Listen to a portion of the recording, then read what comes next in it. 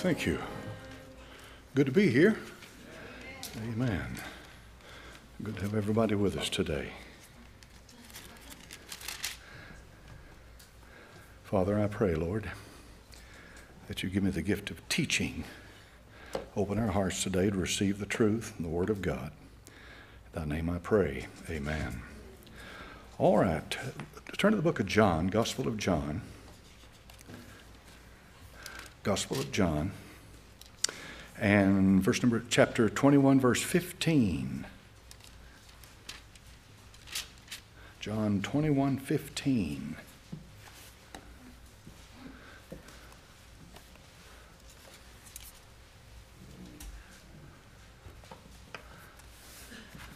All right. John 21, 15. Get this thing straightened up. John 21 15. So when they had dined, Jesus said to Simon Peter, Simon, son of Jonas, lovest thou me more than these? He saith unto him, Yea, Lord, thou knowest I love thee. He saith unto him, now note carefully, feed my sheep. Saith to him again the second time, Simon, son of Jonas, lovest thou me? Saith to him, Yea, Lord, thou knowest what thou knowest that I love thee. He saith unto him, Feed my sheep saith him the third time, Simon, son of Jonas, Jonas, lovest thou me? Peter was grieved because he said unto him the third time, Lovest thou me? And he said to him, Lord, thou knowest all things. Thou knowest that I love thee. Jesus saith unto him, Feed my sheep. Verily I say to thee, when thou wast young, thou girdest thyself, walkest whither thou wouldest. But when thou shalt be old, thou shalt stretch forth thy hands, and another shall gird thee and carry thee whither thou wouldest not. This spake he, signifying by what death he should glorify God. And when he'd spoken this, he saith unto him, Follow me. Now, what you have here is a commission. The Lord is commissioning Peter. He said, I say unto thee, Thou art Peter, and upon this rock I'll build my church, and I give unto thee the keys of the kingdom which means that he would individually open up doors, and he did. In the book of Acts, chapter number 10, he opened up the door of the Gentiles. You notice that Cornelius, a Gentile centurion, is saved, and God uses Peter to do that. Now, we know the first part of the book of Acts is, is focused upon Peter and upon his ministry. And then when the Apostle Paul is saved, we notice a, a shift takes place.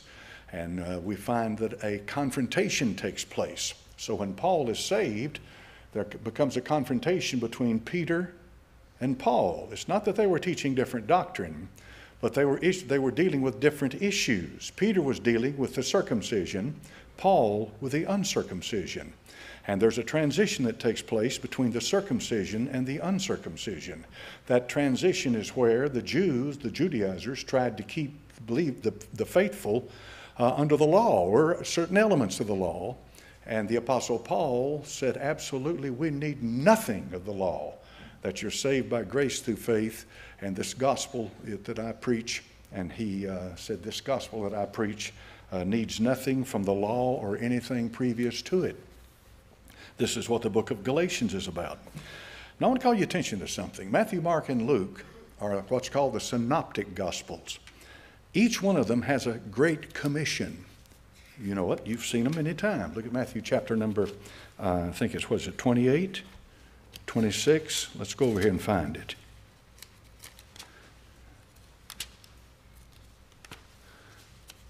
Matthew 28. I was right to begin with. Verse 19. Matthew 28, verse 19. Go ye therefore and teach all nations, baptizing them in the name of the Father and of the Son and of the Holy Ghost, teaching them to observe all things whatsoever I've commanded you, and lo, I am with you alway, even unto the end of the world. Amen. That's a commission. I want you to go to Mark chapter 16 with me.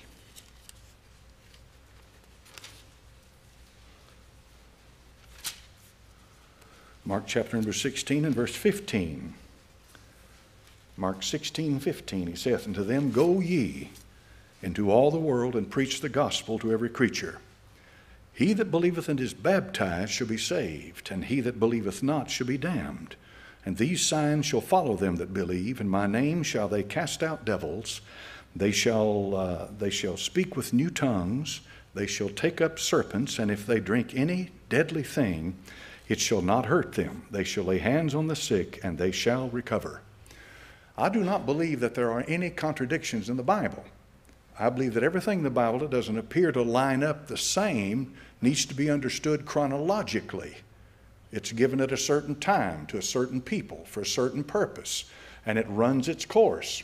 When we come to the Gospel of John, the last gospel written about 90 95 AD, we've, we've passed all of this. The ministry of the Apostle Paul starts out with, uh, he says, I'm glad I didn't baptize any more than anyone else, except a, a few here and there.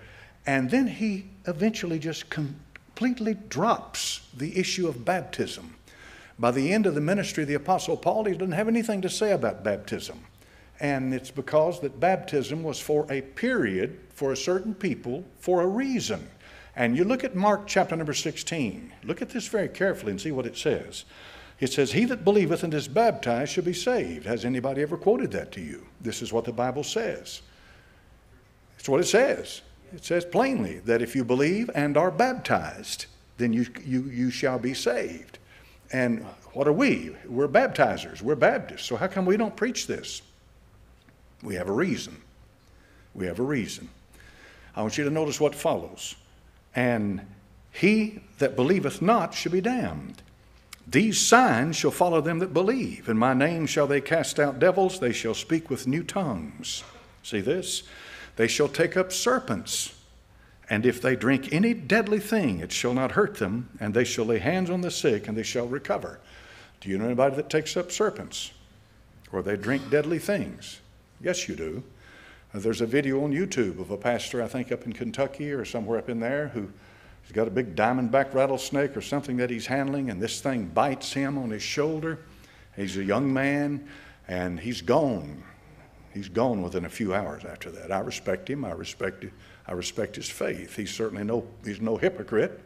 He's no put on. He believes strongly in what he does. But does the Bible command you to take up serpents? That's the difference. In the Bible, a command is a clear thing. Love others as you love yourself. Does that tell you to love yourself?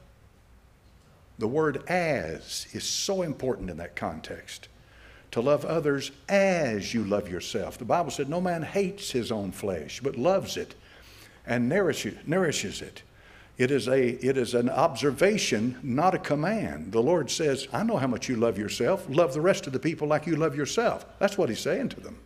He didn't command them to love themselves. It's just natural for men to love themselves. And so it is with the serpent. You know the story. I'm sure you've heard it a thousand times about the Apostle Paul on the Isle of Malta put his hand into the pile of wood and he was bitten by a uh, serpent. And they expected him to drop dead at any moment, and he didn't. He shook it off into the fire and he went on. Uh, God, God's hand protected him, and that started then, and it's gone on since then, many, many, many times down through the years. The Lord has protected his people from imminent danger. And so, why, what's going on with Luke? Well, I mean, with, with Mark. Uh, you have what's called the mark, uh, I think it's called a comma. You get into liberalism and you'll find out that they strike out the last few verses of this Gospel of Mark. It's not even in there. Do any of you have notations in your Bible where it says these are spurious scriptures or they're not, uh, they don't belong in the text or they're highly uh, irregular or, you know, wording like that? Does anybody have that in your Bible? You have a reference Bible with notations in it? Well, let's just look it up. And you'll find that that's what they teach. And why do they do that? They do it to get away with snake handling and drinking poison and baptism in order to be saved. Now, to this day, most of the Protestant churches believe in, in baptizing. They baptize their infants, and they have a little baptismal font, and they sprinkle them with water. And it's a real nice ceremony and all that, but it has really nothing to do with saving their soul. Here's the distinct, distinguishing characteristic of Baptist we believe in baptizing believers. That's what it's about. And in Europe, they called us Anabaptist, and that's what the term means, a rebaptizer. They'd taken the baby, sprinkled them, but we say, you got to show something in your heart where you're a true believer, and then we will baptize you as a true believer. For us, it is not salvation. For us, it is an indication of salvation. It shows the individual being baptized has been saved. But all of this is to say this. when we come down to the last gospel, 90, 95 AD, and the commission given to it, it has to do with what John says. These things are written that you might believe, to get God's word out, to preach the gospel, to tell people about Christ. There's nothing greater than that. There's nothing about serpents, there's nothing about tongues, there's nothing about any of that in the Gospel of John, written many years after Matthew, Mark, and Luke. You have to understand the chronology. The Syrophoenician woman comes to the Lord and says, My daughter is grievously vexed with the devil. He said, It's not meet to take the food of the children and give it to dogs. See? How do you understand that? You understand it in the context of the time. In other words, it was before the door was open to the Gentiles. It was before the Jews had rejected the Master, had rejected the gospel of the kingdom. It was still being preached to them in exclusion to everybody else. And, you know, I've gone through that many times with you before. But these are the kind of things, if you get them, you understand how to interpret the Bible. You, it opens up the scripture for you. They're very important things. The Bible is not a simple book. it is not a simple book. It is not black and white, where everything fits in this category or that category. There are things in the Bible you cannot categorize, you can't place them. And the reason for that is because it represents the mind of Christ, the mind of God. So, that being true, and no doubt in my mind that it is, the, uh, uh, nothing changes about the gospel. When the Apostle Paul in the book of Galatians preached the gospel, 1 Corinthians 15, he said, I declare unto you the gospel, how that Christ died for our sins according to the scriptures, that he was buried, and that he rose again the third day according to the scriptures. Not a word about baptism, not a word about tongues, not a word about snakes, not a word about poison, he defined the bab- uh, baptism as simply believing in your heart in the Lord Jesus Christ, in his death and his burial and his resurrection. And then in Romans chapter number 10, he said, For whosoever shall call upon the name of the Lord shall be saved. A simple act of faith, accepting what Christ did for you on the cross. That's our message today. I don't get up here and tell people unless you're baptized, you're not saved. I don't tell them you have to drink poison to be saved. I don't tell them you have to handle snakes to be saved. I tell them to believe on the Lord Jesus Christ, and thou shalt be saved in thy house. Acts chapter 16 to the Philippian jailer. But you have to understand there's a progression through this. Now, you remember I, talking, I was talking to you about the Gnostic Gospels, and uh, I want to get into liberal Christianity today. You say, What is liberal Christianity? Let me give you four things. There are more. Number one, they deny the virgin birth. Number two, they deny the, uh, the inspiration of the scriptures.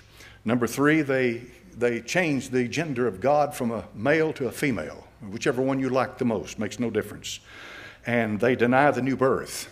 They deny the new birth. And then they preach a social gospel. So, why do they do this? Why does liberal Christianity do this? Why do they come out and just absolutely just throw, jettison everything that we believe and create their own theology? Let me read to you what a theosophist wrote over a hundred years ago. And what she said is literally, and we're indebted to her for this, because what she says is literally the, the, the doctrine of liberal Christianity today. Her name is Helen Blavatsky. She's the, she's the uh, mother of theosophy. Theosophy means the wisdom of God. Theos and sophist, God's wisdom. They always choose terms like that to give credibility to who they are, you know. They like titles and all that. The wisdom of God.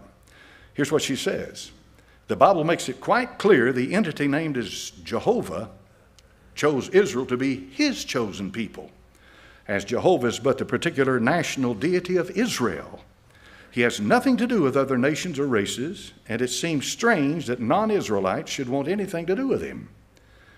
This applies to Christians too, as Jesus criticized and rebelled against the rules and commandments of Jehovah more than anyone else, and the Gospels are full of such instances. And she uses time and time and time again to show you what these are. I'm not going to deal with that uh, today because I want to cover a, a greater subject today. In the case, Jesus himself believed and taught that he, Jesus, was to be a Savior only to the Israelites and not to other races and peoples of the world. Is that true? No, it's not true.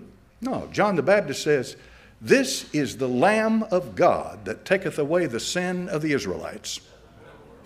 No, what did he say? Sin of the world. All right? Sin of the world. Paul said God was in Christ reconciling the world unto himself. Christ said to them, I have sheep, other sheep, which are not of this fold. The Son of Man came to seek and save that which was lost. He did not come just for the Israelites, that was passing. He came for all mankind. But of course, they don't have any problem with, with twisting things. Listen to this. There are also numerous instances, related in the Gospels where Gentiles, meaning non Jewish people, approached Jesus to be healed, only for him to inform them that I was not sent to the Gentiles, but to the children of Israel. Is it right to take the children's bread and give it to dogs? I mentioned that a moment ago. She uses this.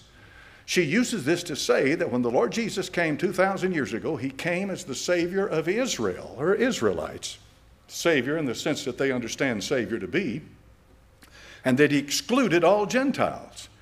Now, you remember how I told you before if you can understand how to put that thing, what he talked about to her, and he said, he said, It's not me to take the children's uh, bread and give it to dogs. What did she do? What was her response to him? That's okay, Lord. It's the dogs eat the crumbs that fall from the table, right? Oh, woman, how much great, how great thy faith. She was a Syrophoenician, right? She was a Gentile, okay? and he welcomed her in and received her because of her faith. You remember what Blavatsky said? That he was only, and he, he excluded the Gentiles and he was only for the Jew. But remember, where does that fit? Where does that fit? How do I understand that? Why would he say that to her? Why would he say, Go only to the lost sheep of the house of Israel? Go not in the way of the Gentiles, but go only to the lost sheep of the house of Israel. Why would he say that? How do I understand that? I am a dispensationalist. I was not a dispensationalist when I got saved. I wasn't anything when I got saved. I just knew I was saved. I didn't know anything. I was as ignorant as you can be.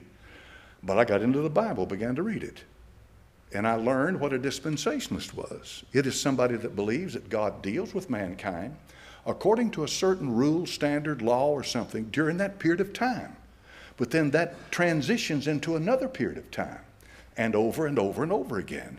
We are in what's called the age or the dispensation of the grace of God, where any man can approach into Christ. The, the veil ripped from the top to the bottom, new and living way. That is to say, through his flesh. That's what's called the age of grace. This was not the age of grace. This was before the final decision had been made about whether Israel was going to accept or reject their Messiah.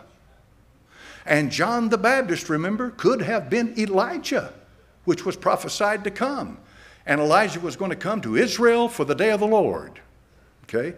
Not Gentiles for the day of Christ. Is there a difference between the day of Christ and the day of the Lord? You better believe there is. There's a vast difference between the two. Okay, we understand that, and I don't, I don't have to convince anybody in here this morning that it has a place. But you see, sheep cherry picks things like that and pulls them out. Not only her, my dear friend, but liberal Christianity is in with her exactly, right down the line. And on she goes. Let me read another one for you. In The Secret Doctrine, H.P. Blavatsky says, Jesus the initiate there we go. Or Jehoshua, the type from whom the historical Jesus was copied. See what you say? Listen carefully. Was not of pure Jewish blood, and thus recognized no Jehovah, nor did he worship any planetary god beside his own father, whom he knew and with whom he communed as every high initiate does, spirit to spirit, soul to soul. So, what, he, what this woman has said is the Lord Jesus Christ had been initiated into a higher spiritual realm of understanding, and he only accommodated the Jehovah of the Old Testament, for the sake of the Jews 2,000 years ago. But his real father was spirit to spirit, soul to soul. And he said many things to these Jews of his day 2,000 years ago, simply to, Uh, to appease them and make it, make it easier for him to be accepted into their number, but didn't believe a bit of it. Now, this is what liberal Christianity teaches, folks, and this is what Blavatsky taught. This is what Gnosticism taught, teaches. There's not a dime's worth of difference between a Gnostic and a liberal Christian. Really? Really? Not a dime's worth of difference. Now listen to the Ophite Gnostic. Here's what he says. The Ophite Gnostic Christians, of course, that's using the word Christian very, very loosely, maintained that Jehovah was an inferior being and rejected the Old Testament entirely, giving as the reason that it was a product of and related to this inferior being. Bishop Marcion, and he's called Marcion the heretic, insisted that the Jewish God Jehovah was totally different and distinct from the deity who sent Jesus to reveal the di- divine truth. That's what Blavatsky just said. That Jesus is not related to the Jehovah of the Old Testament. Jesus is related to that Spirit who is his Father that sent him, spirit to spirit, soul to soul. One more time. Remember, Sophia is an emanation of the monad. And Plato taught this hundreds of years before Christ. Sophia messed up and in the process brought forth a demiurge. A demiurge is a lesser god, a created god. And that demiurge was Jehovah. He doesn't know he's a created God, but he's a lesser being. On, and, and then this Jehovah creates archons, which help him. What's an archon? Angel, cherubim, seraphim, things like that. Now, folks, these people believe that. And I'm going to tell you something. If you nail a liberal Christian to the wall, he will agree with most of what I just said. That the God of the Old Testament was a tribal Jewish God that was not the true God. That we have the Spirit of the great God within us, and He's a God of love a God of love would never send anybody to hell. He wouldn't kill all these people. He wouldn't allow all this suffering today. The suffering that we see today can be understood in an entirely different way. These Gnostics, and this is what they taught, totally different and distinct from the deity. Marcion taught the mission and intent of Jesus was to do away with Jehovah, who, who he said was oppressed, opposed to the God and Father of Jesus Christ, as matter is to spirit, impurity to purity. In fact, not even all the Jews of Old Testament days were supporters of Jehovah. Now she gets into the nitty gritty. There were two distinct schools of thought amongst them the Elohist and the Jehovist. Now, this is important. I don't want to be boring, but this is important. It's called the documentary hypothesis. It came from the school of Graf Wellhausen in Germany. It is the school of higher criticism. It is, you'll find notations. If you get, get, any, get any liberal commentary, or a lot of the, uh, you know, evangelical commentaries, and you'll find they bring in question some of the statements and they'll say, this is Elohist, or this is Jehovah. They'll come along and they'll say that the book of Genesis was written by probably four or five different people and then later compiled, put together by the Jews. They have all kinds of mishmash like that all through the Old Testament where there's a conflict between the Elohist and the Jehovist. And of course, this is a conflict with the Jews themselves. And this is what, this is what they taught young men in the 1800s. And so when a young man goes into a school like that and he comes out, he, does not, he doesn't believe this is the Word of God. He doesn't believe anything about it. So, what's his ministry? His ministry is social justice. That's his ministry. Is not that the ministry of liberalism? Social justice. Not interested in you being saved. They're interested in, in you relieving the suffering of the world. Well, I'm all for that. Helping the sick, I'm all for that.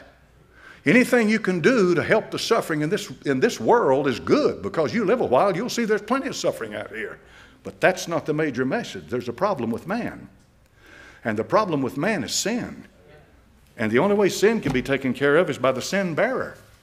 But liberal Christianity doesn't teach that. Of course, I use the word, you know, liberal Christianity, they're not Christians. These people are not your brothers and sisters. They don't know the Lord. They're just religionists with crosses on their buildings to try to, to try to present themselves as Christians. They're not Christians. They don't know the Lord. And, uh, and where did they come from? I'm giving you the, I'm giving you the nuts and bolts of, uh, of where this stuff starts. This Graf Wellhausen documentary hypothesis, redefining the Jehovah of the Old Testament because there was a conflict between the two, and that the Lord Jesus Christ disassociated himself with the Jehovah of the Old Testament. Liberal Christianity is teaching you that the Christ that we worship today is really not God manifest in flesh. That their Christ is a good moral teacher who had some kind of a great spirit come upon him, and for, the, for his day he was accepted. Miracles are out. They didn't believe in the miracles, they believe it's what you call hyperbole, it's all blown out of shape. And so they carry on with this, and people go to their churches today and they buy into it, and when they do, sad to say, folks, if you get into the wrong church, it could lead you to hell. I was reading Maurice Rawlings' book, I just got it the other day, and he reminded me of something. Maurice Rawlings was a, uh, was a, a, a, cardiologist in Chattanooga, Tennessee. He was a doctor to, uh, uh, uh to uh, uh, Eisenhower, President Eisenhower, in his day. Eisenhower had heart problems. I think he died from a heart attack or heart failure. And you know who I'm talking about. He's the commander of the Allied forces over there in Europe, World War II. And he's the man, the author of D Day. So uh, Maurice Rawlings was one of his physicians. I'm sure he had more. Maurice Rawlings was working with a man who was coming and going, and this man went, and Maurice Rawlings uh, was able to bring him back. And when he brought him back, and I'm not overplaying this, he said the man's face was full of terror. Terror. He said, Don't let me go. Don't let me die. Don't let me go to this place. And the doctor, of course, was a, I guess the best say, say he's an agnostic. He didn't read his Bible, didn't go to church, he wasn't a Christian, any of that. He was just a professional, medical professional. And he said, uh, the man said to him, Help me, help me, pray with me, do something to keep me out of hell. And the cardiologist said, he told him, he said, I'm not a preacher. He said, pray for yourself. And then he went away again. Then he brought him back again. And he said, then he prayed with him. He said, well, try to remember the words he learned in Sunday school. Uh, believe on Jesus. Call his name out. Trust him, and he'll save you. Something as generalized as that. He said the man prayed that prayer. And when he prayed that prayer, he lost him again and brought him back. But there was no, there was no terror. No terror and apparently he recovered from it. But here's the point this is the important point. You've got a lot of books out here on life after life, and you've got books by uh, various authors who talk about, uh, about uh, the other side, and they talk about uh, uh, near death experiences. Yeah, that's a good term for it, near death. And he said, uh, he said, Let me tell you something. He said, I'm a doctor. He said, These people are writing after the fact by doing the research and interviewing people who have been through this months or even years before. He said, I was there when it happened. And he said, when being there when it happened, he said, I got a first hand testimony, not second hand, and not later, but right on the spot. And he said, I could see the terror in their faces when they came back. He said, the people that are writing and he made the good point, and this I think is a very good point. He said the human mind has a tendency that if it, in, if, that if it encounters something as horrific as that, that it has a, the human mind has this protective reflex where it will forget it or make it better. And so when you go test, when you go listen to them, you go listen to their testimony. Years later, it's changed. And this is why they have so many of them that have a good test, a, a good, uh, you know, encounter. They see this being of light. But does the Bible say that Satan can transform himself into an angel of light? So be very careful. You cannot discount them, but be very careful what you're dealing with when it comes to near death experiences. Be very careful because some of those people have had a vision of hell. And that's being God being gracious and merciful to them. And thanks be unto God for that. And I have met people here at Temple years ago, one man who had passed on then he came back, and he was, I never seen anything like him. He was the kind of fellow that just, he is full of joy and full of vision and full of love. And, and he said, Maybe I'm going to go back today. I mean, where he had been, he was so fired up over it that he was ready to leave at any moment. He had seen something to him that was far better than where he is now. But for, for whatever reason, God uh, allowed him to come back and say, Well, now, is there anything in the Bible about that? Yes, 2 Corinthians 12. The Apostle Paul said, I knew a man in Christ above 14 years ago, whether in the body or out of the body, I cannot tell. Such an one called up to the third heaven. That's Paul. Carried out of the body and carried into the presence of the Lord. Amen. So you just can't categorize everything and easily pass it all off and say, uh, and say there's no truth to it. Now, do you believe the Bible? I do. I believe the Bible. One of the reasons I believe the Bible is because I know how men treat the Bible. Men didn't write the Bible. Have you ever noticed how they treat it? Well, that's that man wrote that book, or this. They don't like it. Why? Did, if if man wrote the Bible, why would he hate it so much? See, they don't they don't like the Bible. Man didn't write the Bible. God wrote the Bible. He used a human hand to pin it down. God wrote it, and the Bible, of course, is the Word of God. Now, I've said many times, and I'll say it again, it's important. The Bible's not written to make you a Baptist. It was not written to make you a Presbyterian, Methodist, Lutheran, whatever. It was not written for that purpose. It was written to reveal God. And it was a manifestation that begins in Genesis and goes all the way through Revelation, because Revelation is the apocalypsis, which is the unveiling. Revelation doesn't end anything, it just opens up the future. So it is written to reveal God. And it is a progressive revelation from Genesis all the way through to the end. I want to give you three archaeological finds, and I'll come to a close this morning. Archaeology is a friend to the Bible. Amen. It is a friend to the Bible. The Roman governor, Pontius Pilate, who say, they say never existed, well, they found an inscription at Caesarea Maritima with his name on it. That was in 1961. When I was there, I saw a reproduction. They wouldn't leave, obviously, they wouldn't leave the original. But there it was, Pilatus. I think it was in Latin, Pilatus. And Pilate, who was, of course, a Roman, Latin, uh, he did live because there's his name. And then in 1990, the discovery in Jerusalem of an ossuary, a burial box for bones. That's what, it, that's what an ossuary is. It bore the name of Caiaphas, the high priest who condemned Jesus. Isn't that something? Now, these boxes, these bone boxes, have what's called a patina. A patina. It's hard to fake a patina. So, what's a patina? A patina is a covering that develops over time. If something's 2,000 years old, there is a very, very thin covering over that. And it's uniform, of course. It's not something that's been put in there. It's called the patina. How many's ever seen something old and it has an appearance to it and you, you know it? You know this is old. You know, that's the patina. And these ossuaries have a patina on them. And they have this writing. And one was to uh, Caiaphas, the high priest. Is he in the Bible? Well, of course he is. And then there's another ossuary that has come to light. And this is one that bears the names of Jesus, James, and Joseph. Three of the most prominent people in the New Testament, the ancient Aramaic words inscribed on the limestone box state that it belongs to James, son of Joseph, brother of Jesus.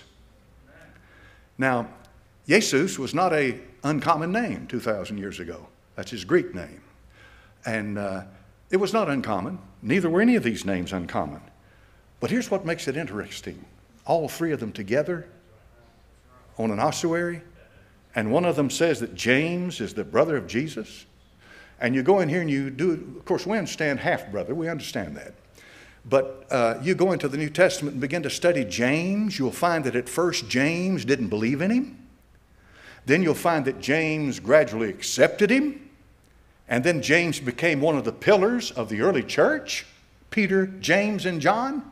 And that James wound up writing one of the New Testament books. And James, therefore, no question about it, was, was, a, was, a, was one, an apostle in the sense of one sent forth. Yes, he was. James' name shows up here as the brother of Jesus. So, what, what are you saying, preacher? I'm saying that we have a piece of stone that tells you that James was the brother of Jesus. Now, Blavatsky, I marvel at her because she spends all this time talking about who Christ was and, and all the stuff I gave you. Yet there are other places on the internet, all you got to do is just do a little Googling, and she completely denies that he even existed. You can't have it both ways. Which one's it going to be? Either he existed or he didn't exist. You know what happens to people? I think this is what happened to her.